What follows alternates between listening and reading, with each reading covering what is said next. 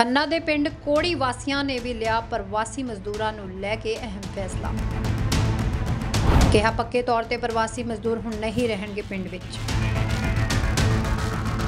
ਖੰਨਾ ਦੇ ਪਿੰਡ ਕੋੜੀ ਦੇ ਪਿੰਡ ਵਾਸੀਆਂ ਨੇ ਹੁਣ ਫੈਸਲਾ ਲਿਆ ਜੋ ਪਹਿਲਾਂ ਵੀ ਪ੍ਰਵਾਸੀ ਮਜ਼ਦੂਰਾਂ ਨੂੰ ਲੈ ਕੇ ਪੰਜਾਬ ਦੇ ਕਈ ਪਿੰਡਾਂ ਦੇ ਵਾਸੀ ਕਰ ਚੁੱਕੇ ਨੇ। ਉਹਨਾਂ ਦਾ ਕਹਿਣਾ ਹੈ ਕਿ ਪ੍ਰਵਾਸੀ ਮਜ਼ਦੂਰ ਨੇ ਜਿਹੜੇ ਉਹਨਾਂ ਨੂੰ ਪੱਕੇ ਤੌਰ ਤੇ ਇੱਥੇ ਰਹਿائش ਨਹੀਂ ਕਰਨ ਦਿੱਤੀ ਜਾਵੇਗੀ, ਉਹ ਆ ਸਕਦੇ ਨੇ, ਪਰ ਪੱਕੇ ਤੌਰ ਤੇ ਨਹੀਂ ਰਹਿ ਸਕਦੇ ਤੇ ਦੂਜਾ ਉਹ ਇੱਥੇ ਜ਼ਮੀਨ ਵੀ ਨਹੀਂ ਖਰੀਦ ਸਕਦੇ। ਤਾਂ ਉਹਨਾਂ ਨੇ ਕਈ ਅਜਿਹੇ ਇਲਜ਼ਾਮ ਲਗਾਏ ਨੇ, ਪ੍ਰਵਾਸੀ ਮਜ਼ਦੂਰਾਂ ਤੇ, ਸੋ ਜੋ ਕਿ ਬਹੁਤ ਜ਼ਿਆਦਾ ਸੁਣਨ ਲਾਇਕ ਨੇ, ਕਿਉਂਕਿ ਪ੍ਰਵਾਸੀ ਮਜ਼ਦੂਰਾਂ ਨੂੰ ਲੈ ਕੇ ਕਾਫੀ ਸਾਰੀ ਅਜਹੀਆਂ ਵੱਖ-ਵੱਖ ਪਿੰਡਾਂ ਤੋਂ ਤਸਵੀਰਾਂ ਜਾਂ ਵੀਡੀਓ ਸਾਹਮਣੇ ਆਉਂਦੀਆਂ ਨੇ, ਜੋ ਇੱਕ ਬਾਰੇ ਸੋਚਣ ਲਈ ਮਜਬੂਰ ਕਰ ਦਿੰਦੀਆਂ ਨੇ ਕਿ ਕੀ ਪ੍ਰਵਾਸੀ, ਜੋ ਕਿ ਕਹਿੰਦੇ ਨੇ ਕਿ ਸਾਨੂੰ ਖਤਰਾ ਹੈ, ਪਰ ਤਸਵੀਰਾਂ ਇਹ ਪੇਸ਼ ਹੁੰਦੀਆਂ ਨੇ ਕਿ ਜਿਹੜੇ ਪੰਜਾਬੀ ਨੇ ਉਹਨਾਂ ਨੂੰ ਪ੍ਰਵਾਸੀਆਂ ਤੋਂ ਖਤਰਾ ਜਦੋਂ ਉਹ ਘਰ ਦੇ ਵਿੱਚ ਨਹੀਂ ਹੁੰਦੇ ਤਾਂ ਕਾਫੀ ਵਾਰ ਪ੍ਰਵਾਸੀ ਦੀਆਂ ਜਿਹੜੀਆਂ ਮਹਿਲਾਵਾਂ ਨੇ ਜਾਂ ਉਹ ਮਰਦ ਨੇ, ਉਹਨਾਂ ਦੇ ਵੱਲੋਂ ਅਜਿਹੀਆਂ ਘਟਨਾਵਾਂ ਨੂੰ ਅੰਜਾਮ ਦਿੱਤਾ ਗਿਆ ਜਿਸ ਤੋਂ ਬਾਅਦ ਹੁਣ ਪੰਜਾਬੀਆਂ ਦੇ ਦਿਲਾਂ ਦੇ ਵਿੱਚ ਵੀ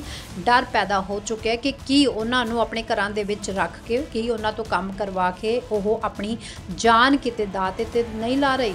ਨੂੰ ਪਿੰਡ ਦੀ ਸਰਬ ਸਾਂਝੀ ਮੀਟਿੰਗ ਪਿੰਡ ਦੀ ਵਿਹੜੇ ਵਾਲੀ ਧਰਮਸ਼ਾਲਾ ਵਿੱਚ ਹੋਈ ਹੈ।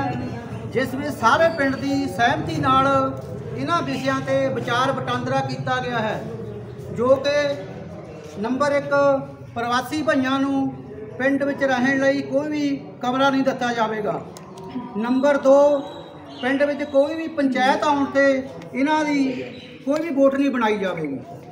ਨੰਬਰ 3 ਪਿੰਡ ਵਿੱਚ ਕੋਈ ਵੀ ਬੰਦਾ ਇਹਨਾਂ ਪ੍ਰਵਾਸੀਆਂ ਨੂੰ ਰਹਿائش ਲਈ ਅਤੇ ਕੰਮਕਾਰ ਲਈ ਜ਼ਮੀਨ ਨਹੀਂ ਦਿੱਤੀ ਜਾਵੇਗੀ। ਨੰਬਰ 4 ਅਗਲੀ ਮੀਟਿੰਗ ਐਤਵਾਰ ਨੂੰ 25/8/2024 ਨੂੰ ਪਿੰਡ ਦੇ ਵੱਡ- ਵੱਡੇ ਗੁਰਦੁਆਰਾ ਸਾਹਿਬ ਵਿਖੇ ਹੋਵੇਗੀ, ਜੋ ਜਿਹਦਾ ਟਾਈਮ ਸ਼ਾਮ ਨੂੰ 4 ਵਜੇ।